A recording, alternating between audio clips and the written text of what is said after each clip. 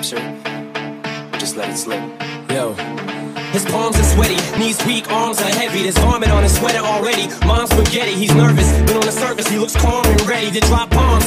But he keeps on forgetting what he wrote down. The whole